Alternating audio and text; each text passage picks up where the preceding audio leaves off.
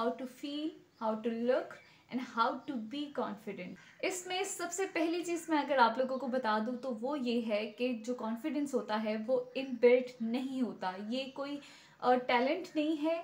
जो कॉन्फिडेंस होता है ये एक स्किल होती है जो with the passage of time हम लोग अर्न करते हैं लर्न करते हैं। इस उस चीज़ में हम लोग अपनी कमांड बनाते हैं ठीक है? इसीलिए इस चीज़ को माइंड से निकाल दें कि ये जी इन लोगों में होता है या जो बहुत कॉन्फिडेंट लोग होते हैं ये पता नहीं, पहले से ही इतनी ट्रेनिंग होती है इनकी? नहीं, ये with the passage of time इसमें कोई एज लिमिट नहीं है। आप लोग इसको अर्न करते हैं। अब बात करते हैं कि वो कौन सी पहली चीज़ है जो आप लोगों को बहुत ज़्यादा कंसीडर करनी चाहिए टू बी और टू लुक मोर कॉन्फिडेंट सबसे पहली चीज़ की तरफ़ बात करते हैं बॉडी लैंग्वेज और बॉडी लैंग्वेज के बारे में। आप लोगों को सिर्फ़ ये बता दूँ कि हमारी कोई ना कोई लैंग्वेज होती है जिसमें हम अपनी कोई फीलिंग्स या कोई अपनी बात कन्वे करते हैं। इसी तरह हमारी जो बॉडी लैंग्वेज होती है या बॉडी पॉस्चर होता है, वो बहुत कुछ एक्सप्रेस करता है लोगों के लिए। तो इसीलिए कंफर्टेबल बैठें लेकिन अपने कंधों को झुका के नहीं, अपने कंधों को पीछे की तरफ़ स्ट्रेट रख के बैठे और बिल्कुल भी हम नहीं डालना आप लोगों ने। और अपने फेस को जो है थोड़ा सा अपवर्ड टिल्टेड रखें और बिल्कुल आप लोग ईजी पोजिशन में बैठें। अगर आप बैठ रहे हैं तो बिल्कुल सही बैठें कंफर्टेबल बैठें और अपने हाथों के साथ खेलते ना रहिए। या अगर आप लोग चल रहे हैं तो आप तब भी बिल्कुल सीधे खड़े होकर चलें या बिल्कुल आप लोग सीधे खड़े हों। आप लोगों का एक पूरा बॉडी पॉस्चर होना चाहिए, जो और रिप्रेजेंट करे कि ये बंदा बिल्कुल डल सा नहीं है, ये बहुत कॉन्फिडेंट बंदा है। तो पहली चीज़ ये है कि आप लोगों ने अपनी जो स्टैंडिंग पोजीशन है, वो बिल्कुल स्ट्रेट रखनी है। सिटिंग पोजीशन जो है, वो आप लोगों ने बिल्कुल कंफर्टेबल रखनी है। दूसरी चीज़ के बारे में बात करते हैं। अगर आप लोग थोड़े से शाय हैं तो आप लोगों को इस पर थोड़ा सा काम करना पड़ेगा और वो ये है कि आई कांटेक्ट आई कांटेक्ट बहुत बहुत ज़्यादा ज़रूरी है। जब हम किसी इंटरव्यू में जाते हैं या किसी भी इस तरह से लोगों से इंटरेक्ट करते हैं तो बहुत से शाय लोग होते हैं जो आई कांटेक्ट नहीं कर पाते, थोड़ा सा हेजिटेट करते हैं। थोड़ी सी नज़र को यूँ कर लिया, या कभी यूँ कर लिया, बिल्कुल आप लोगों ने ऐसे नहीं करना। बिल्कुल कॉन्फिडेंट होके अपने आप की अपनी जो पोजीशन है, अपने बिल्कुल कंधे भी सीधे रखने हैं। जब आप लोगों का फ़र्स्ट बॉडी पॉस्चर ठीक हो जाता है ना, उसके बाद आप अगली चीज़ें ऑटोमेटिकली अडॉप्ट करना स्टार्ट कर देते हैं। तो ट्राई करें कि आप लोग जो है वो आई कांटेक्ट कर सके और बिल्कुल बिल्कुल इस चीज़ में ना घबराएँ। और अगर आप लोग इस चीज़ में बहुत ज़्यादा शाई फील करते हैं तो सबसे अच्छा तरीका ये है कि अपना अपने सामने एक शीशा लें, उसमें खुद से आँखें मिलाएँ और अपना जो फेयर है आई कांटेक्ट का उसको सबसे पहले अपने अंदर से बाहर निकालें और ख़ुद को बताएँ कि आप इसके काबिल हैं कि आप किसी से भी आई कांटेक्ट करके इजीली बात कर सकते हैं। तीसरी चीज़ के बारे में बात करते हैं और वो ये है कि try to speak with tone और देर मस्ट भी एक्सप्रेशन इन योर वॉइस देखिए, जब भी हम मोनोटोन में बात करते हैं तो हमारी बात इतनी इम्पेक्ट नहीं छोड़ती, किसी पे इतनी इतना इफ़ेक्टिव नहीं होती। लेकिन जब भी आप कोई बात कर रहे हैं, उसका जो भी एक्सप्रेशंस बनते हैं, उस एक्सप्रेशन के साथ बोलने की कोशिश करें। मिसाल के तौर पर, अगर आप खुश हैं तो अपनी वॉइस आवाज़ को उसी हिसाब से रखें। अगर आप सैड हैं तो उसी हिसाब से रखें। या जिस तरह भी आप लोग की कोई भी कॉन्वर्सेशन चल रही है, उसी के हिसाब से अपनी आवाज़ को उसी के हिसाब से एक्सप्रेशन या टोन देने की कोशिश करें।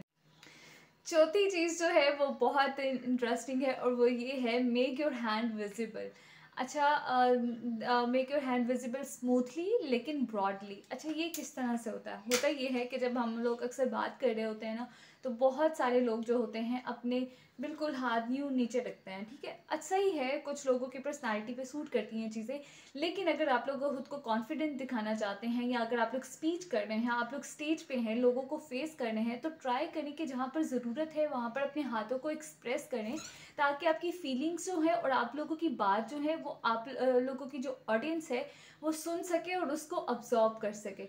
तो नेक्स्ट टाइम से आप लोगों ने ट्राई करनी है कि स्मूथली लेकिन broadly try to make your hands visible पांचवी बहुत बहुत बहुत ज़्यादा इंपॉर्टेंट चीज़ है आपका walking style don't drag your feet don't walk slow don't walk too fast try करें कि एक मॉडरेट चाल रखें और वैसे ही चलें।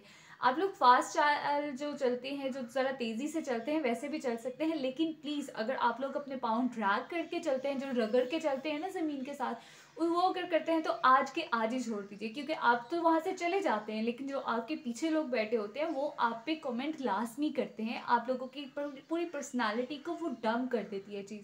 बिल्कुल ख़त्म कर देती है।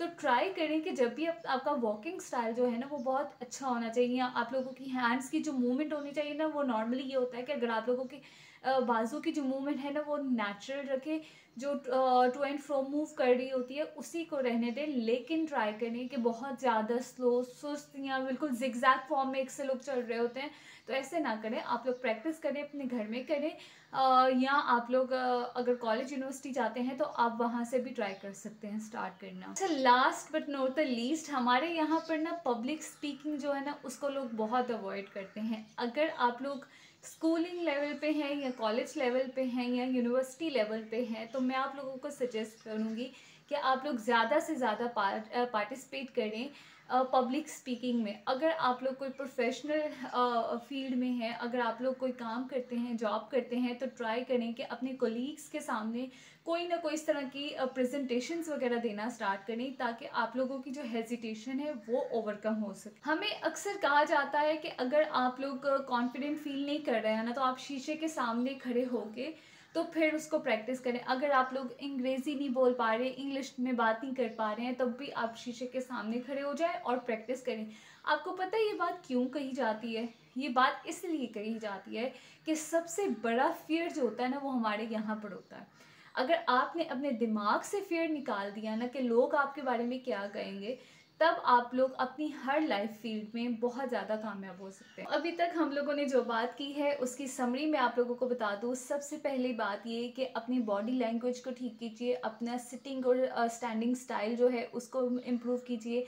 सेकेंड चीज़ ये है कि आई कांटेक्ट बनाने की कोशिश कीजिए। आप लोगों का बहुत ज़्यादा कॉन्फिडेंस जो है वो इन्हांस कर देगी। थर्ड चीज़ जो है, वो ये है कि अपने हाथों को बहुत ब्रॉडली लेकिन बड़े स्मूथली इनको विजिबल रखिए। अपनी वॉइस में एक्सप्रेशंस लाइए और जहाँ पर ज़रूरत है टोन को उसको चेंज कीजिए। पांचवी चीज़ ये है जी कि अपना जो वॉकिंग स्टाइल है, उसको चेंज कीजिए, उसको इम्प्रूव कीजिए, खुद से प्रैक्टिस कीजिए और last but not the least के अपनी जो पब्लिक स्पीकिंग है, उसको इम्प्रूव करने की ट्राई कीजिए और जितना ज़्यादा हो सकता है अपने अंदर के फियर को बाहर निकालिए और अगर आप लोग फिर भी कॉन्फिडेंट फील नहीं करते तो एक पूरा वॉल मिरर लगवाइए और उसके सामने इन चीज़ों को प्रैक्टिस करना स्टार्ट कीजिए। तो जी, आज की वीडियो में बस इतना ही। आई होप आज की वीडियो आप लोग को पसंद आई होगी। पसंद आई है तो इसे लाइक कर लीजिए और चैनल को सब्सक्राइब कर लीजिए। अपना बहुत सा ख्याल रखिएगा। मुझे दीजिए इजाज़त। अल्लाह हाफिज़।